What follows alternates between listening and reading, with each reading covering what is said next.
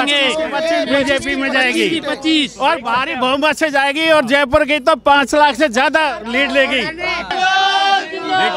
राजस्थान का एक ही लाल भजन। लाल भजन लाल सोचा तो नहीं था पर चाहते थे कि हमारे मुख्यमंत्री हमारे विधायक साहब ही बने और वही हुआ। मैं सिर्फ़ भजन लाल जी के साथ में खड़ी थी शुरू से ही जो वुमेन्स को राइट्स नहीं मिले वुमेन को सेफ्टी नहीं मिली वो इस सरकार बीजेपी पे पूरा भरोसा है कि वो ये सब काम बहुत अच्छे से करेंगे। बहुत बहुत खुश हूँ कि सर के लिए जो हमने इतनी मेहनत करी।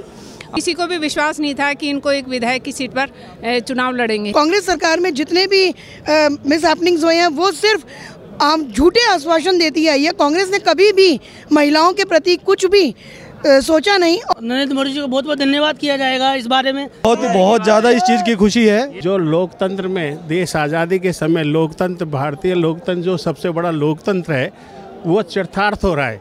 राजस्थान में राम राज्य आ गया है बहुत अच्छे आदमी जी ज्ञान से राम। हाँ राम राज राजस्थान में राम राज्य आ गया। नमस्कार मैं हूँ आपके साथ अर्जुन खजूरिया और आपका स्वागत है हमारे चैनल पर। तो राजस्थान में भी वही हुआ जो छत्तीसगढ़ में हुआ जो मध्य प्रदेश में हुआ।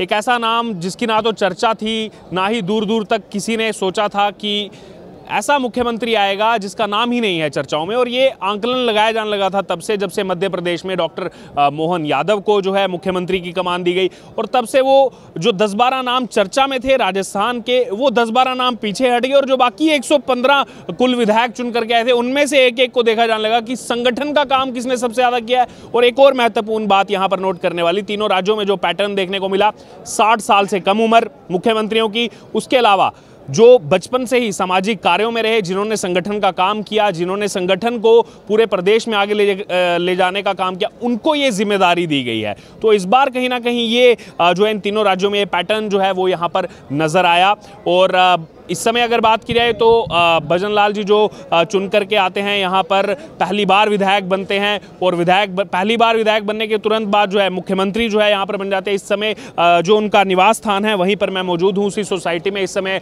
मैं मौजूद हूँ जो कल तक एक आम सोसाइटी थी, लोगों के रहने के लिए एक सोसाइटी थी। आज वो खास बन गई और आप देख सकते हैं यहाँ पर ना ही केवल इस विधानसभा के, ना ही केवल जयपुर के, बल्कि पूरे राजस्थान से लोग जो है, वो यहाँ पर पहुँच रहे हैं बधाई देने के लिए। यहाँ पर अगर बात की तो कई पदाधिकारी कई जो है, यहाँ पर अगर बात की विधायक भी जो है, वो यहाँ पहुँच रहे हैं। आप देख सकते हैं, आप जो है सिक्योरिटी फोर्सेज के जवान जो है, वो भी मेरे वीडियो जर्नलिस्ट आपको दिखाएँगे।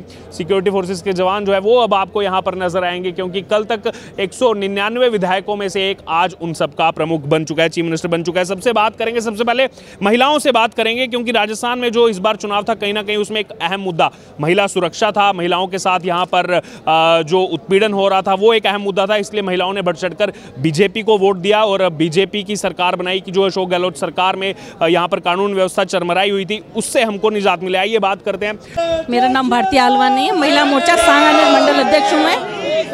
कहाँ के रहने वाले हैं आप? मैं सांगानेर की रहने वाली हूँ महिला मोर्चा मंडल अध्यक्ष में। अच्छा सांगानेर के आप रहने वाले हैं। जब आप वोट डालने जा रहे थे सोचा था एक विधायक को चुन करके भेज रहे हैं या मुख्यमंत्री को चुन करके भेज रहे हैं? सोचा तो नहीं था पर चाहते थे कि हमारे मुख्यमंत्री हमारे विधायक साहब ही बने और वही हुआ। वो तो देखिए एक सौ निन्यानवे के एक सौ निन्यानवे चाहते थे लेकिन कहीं ना कहीं एक इंट्यूशन कम होगा कि पहली बार तो चुन करके जा रहे हैं कि मंत्री पद मिल जाए ये भी गनीमत रही ये भी कहीं ना कहीं दिमाग में चल जी बिल्कुल बिल्कुल। लेकिन चलो जो हमने चाहा वो हमारे को मिला है। जी आपका क्या नाम है? मेरा नाम रजनी जादव ने और मैं दीदी की छोटी सिस्टर हूँ। अच्छा आ, दोनों बहनें आई हैं आज सेलिब्रेट बिल्कुल बिल्कुल ये मेरी धर्म की बहन है। और मैं सिर्फ़ भजन लाल जी के साथ में खड़ी थी शुरू से ही दीदी के थ्रू अदरवाइज़ मुझे पता नहीं था। हाँ मैंने हम लोगों ने कोशिश की विधायक के लिए कोशिश की थी। लेकिन मोदी जी ने जो हमें सरप्राइज़ पे सरप्राइज़ दिया पहले थर्टी थ्री परसेंट आरक्षण दे के उसके बाद में ये सब जो राजस्थान में हम लोग सुरक्षित नहीं थे हम राजपूतों की लेडीज़ थे निकल नहीं सकते थे। मतलब कोई भी लेडीज़ सुरक्षित नहीं थी। कैसी भी लेडीज़ सुरक्षित नहीं थी। नए नए कांड हो रहे थे यहाँ पे। अब हमको जब ये भजन लाल जी आ गए हमारे भाई आ गए तो हमें ये प्रूफ हो गया हाँ भाई हम आ कहीं भी कभी भी निकल सकते हैं। वो उन पर भरोसा है? बिल्कुल हमें भरोसा है। हमें बिल्कुल भरोसा है। आप, आपका क्या नाम है?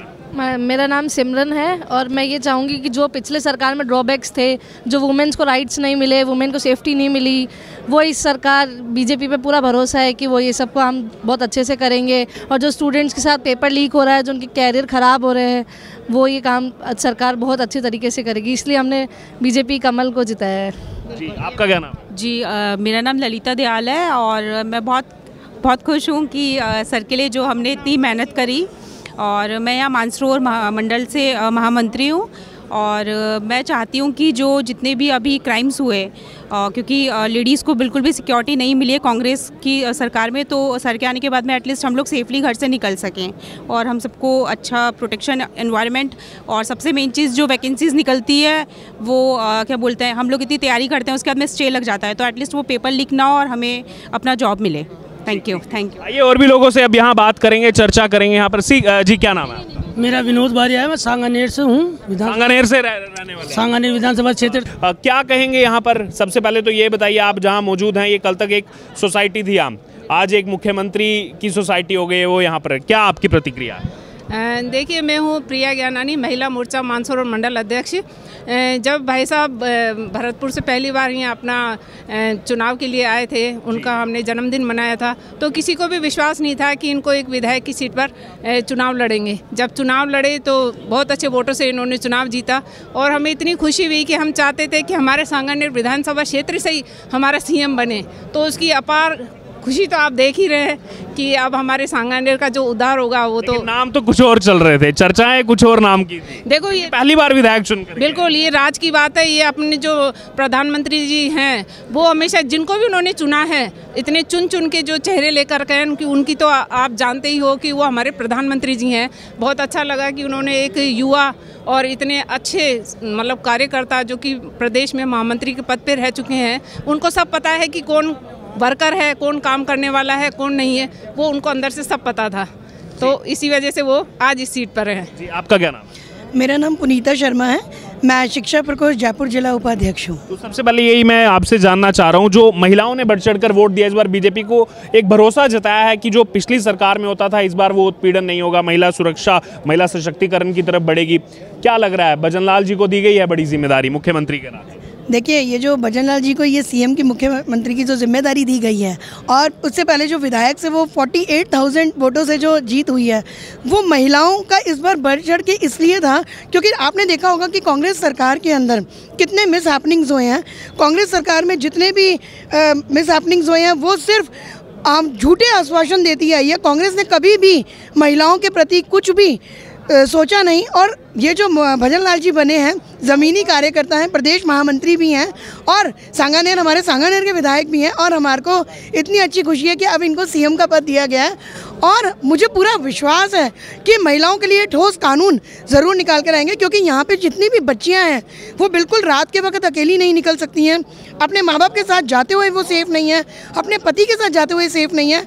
तो मेरा तो यही मानना है कि भजन लाल जी को ये जो अचीवमेंट मिला है this is very nice Sanganer के आप रहने वाले जैसे मैंने आपसे पूछा कि बहुत माहौल बनाया गया बाहरी व्यक्ति बाहरी व्यक्ति को बीजेपी ने टिकट दिया। अब बाहरी व्यक्ति कहा जाए या कुछ और कहा जाए?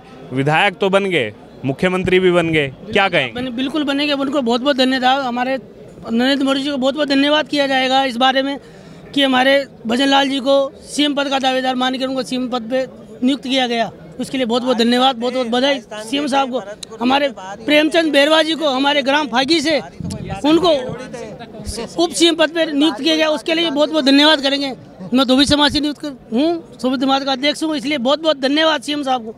आपका क्या नाम है? मेरा नाम देव है मैं भजन लाल जी का पड़ोसी हूँ इसी सोसाइटी में इसी सोसाइटी में रहते हैं आप? कौन सा फ्लैट है आपका? मेरा बी एक सौ सात है फ़र्स्ट फ्लोर पे। यहीं पर है ऊपर बिल्कुल और बी पड़ोसी हैं आप। बिल्कुल बिल्कुल बिल्कुल।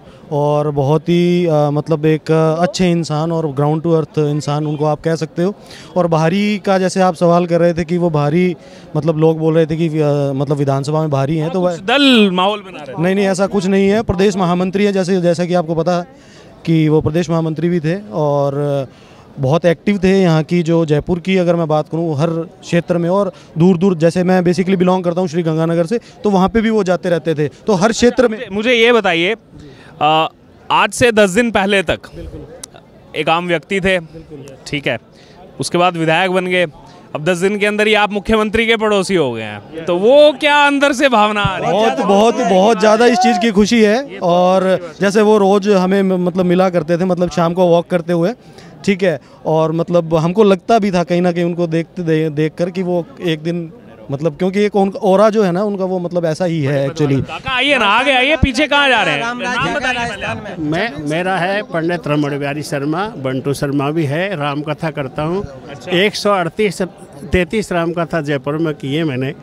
एक ही ज़िले में 108 कथा का इतिहास बनाया है और पहली बार हमारे को लग रहा है भजन लाल जी को जो सीएम बनाया बीजेपी ने कि जो लोकतंत्र में देश आज़ादी के समय लोकतंत्र, भारतीय लोकतंत्र जो सबसे बड़ा लोकतंत्र है, वो चरितार्थ हो रहा है कि एक छोटा कार्यकर्ता गाँव के लेवल से उठ करके और एक उच्च मुख्यमंत्री जो राजस्थान का, प्रदेश का एक बड़ा पद होता है, उसमें पहली बार ऐसा देखने को मिला है कि छोटे कार्यकर्ता से फिर वो जिलाध्यक्ष बने, उसके बाद चार बार महामंत्री रहे प्रदेश में, चार अध्यक्ष चेंज हो गए लेकिन उनकी कार्य कुशलता को देखते हुए ये जो मोदी जी ने जो निर्णय लिया है ये बहुत ही सराहनीय निर्णय है और एक मेहनती कुशल कार्यकर्ता। पाएँगे भजन लाल जी मुख्यमंत्री के नाते पूरे प्रदेश की बागडोर बहुत भागदौड़ बहुत जिन्होंने चार साल जिन्होंने चार साल जिन्होंने महामंत्री बने। राजस्थान में राम राज जा गया है। बहुत अच्छे आदमी जी ज्ञान से राम हाँ राम राज राजस्थान में राम राज जा गया। देखिए मैं सबसे पहले तो आदरणीय प्रधान आदरणीय प्रधानमंत्री मोदी साहब को बहुत बहुत बधाई देता हूँ कि हमारे को राजस्थान के लिए इतना कर्मठ कार्यकर्ता उन्होंने दिया। और सनातन के लिए मैं तो सबसे बड़ी बात करूँगा कि हम हिंदू हैं तो हिंदुत्व के लिए बहुत बड़ा काम अब यहाँ राजस्थान में होगा। अभी तक हमारा राजस्थान बहुत पिछड़ा था हिंदू के मामले में और हिंदुओं को कोई तवज्जो नहीं दिया जा रहा था। लेकिन अब एक ऐसा मुख्यमंत्री हमें मिला है जिसके लिए मैं कुछ कह नहीं सकता। और बस यही है कि वो हमारे लिए इतना अच्छा काम करेंगे। देश की जनता, हम राजस्थान की जनता के लिए बहुत बढ़िया काम करेंगे तो धन्यवाद। अब देखिए, जो यहाँ पर माहौल है, ये आने वाले कुछ दिनों तक ऐसा ही माहौल यहाँ पर रहने वाला है। कल तक यहाँ पर केवल जो सोसाइटी के लोग थे, वही यहाँ पर आकर टहलते थे। लेकिन आज आप देख सकते हैं, यहाँ पर जमावड़ा पूरे राजस्थान से लोग जो है वो धीरे धीरे यहाँ पर पहुँच रहे हैं। और यहाँ पर आकर के जो है वो बधाइयों का सिलसिला लगातार जारी है, क्योंकि वो किसी ने भी नहीं सोचा था। वो वीडियो भी बहुत तेज़ी से यहाँ पर ट्रेंड हो रहा है कि किस प्रकार से यहाँ पर जो अगर बात की जाए जो पर्ची खुलती है, पर्ची के बाद नाम सामने आता है और कहीं ना कहीं जैसे हमने यहाँ पर लोगों से भी बात की, सांगानेर विधानसभा के लोगों से बात की तो उनसे यही पूछा कि क्या आपको लग रहा था कि आप जो वोट देने जा रहे हो, एक विधायक को वोट देने जा रहे हो या फिर एक मुख्यमंत्री को वोट देने जा रहे हो? बहरहाल अभी यहाँ पर ये जो यहाँ पर माहौल है, वो अभी चलते रहेगा आने वाले कुछ दिनों के लिए और कहीं ना कहीं अगर दूसरी तरफ़ देखा जाए तो एक बड़ी ज़िम्मेदारी भी जो है वो यहाँ पर केंद्रीय नेतृत्व की तरफ़ से भजन लाल जी को दी गई है क्योंकि राजस्थान को संभालना बिल्कुल भी आसान नहीं है। तो अब देखना होगा आने वाले सालों में किस प्रकार से इन जिम्मेदारियों का वो निर्वहन करते और सबसे पहले सबसे बड़ा चैलेंज जो है उनके लिए वो लोकसभा चुनाव जो अभी लोकसभा चुनाव आ रहा है पाँच महीने बाद उसमें 25 सीटें जो है उसकी बड़ी ज़िम्मेदारी उन पर होगी। लेकिन यहाँ से सांगानेर की अगर बात पच्चीस जाएगी पूरी सीट पच्चीस पच्चीस निकल के लाएँगे। बीजेपी में जाएगी। पच्चीस और भारी बहुमत से जाएगी और जयपुर की तो पाँच लाख से ज़्यादा लीड लेगी। दो सौ किलोमीटर दूर से रहने वाले हैं लाल। हाँ तो देखिए, यहाँ यहाँ यहाँ पे, यहाँ यहाँ यहाँ पे यहाँ पे माहौल अभी आप देख सकते हैं, वो लोगों में खुशी है और आने वाली यहाँ पर यहाँ पर रुके, रुक नहीं रहे हैं। आने वाले लोकसभा चुनाव के लिए भी जो है, यहाँ पर तैयार है। देख सकते हैं नारेबाजी पर। राजस्थान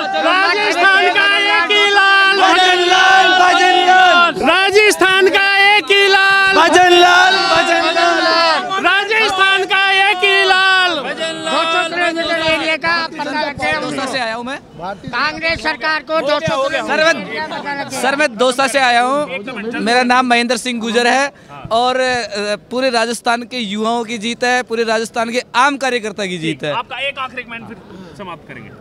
पार्टी ने एक मज़बूत और ईमानदार कार्यकर्ता को सीएम बनाया तो सब युवाओं के दिलों में जोश आ गया, भाई, अब नेतागिरियाँ खत्म हो गई, जो ईमानदारी से काम करेगा, उसको पद मिलेगा वो भी वो भी जोश यहाँ पर सब में है, और सब में सब में जोश यहाँ पर है, और यहाँ से कंक्लूड करेंगे, और अभी जो है, बधाई का सिलसिला यहाँ पर चलता रहेगा, और कहीं ना कहीं अगर बात की जाए तो सांगानेर की इस समय जो जनता है, वो यहाँ पर खुश आपको नज़र आएगी कि केवल एक विधायक नहीं, एक मुख्यमंत्री को चुन करके उन्होंने यहाँ से भेजा है।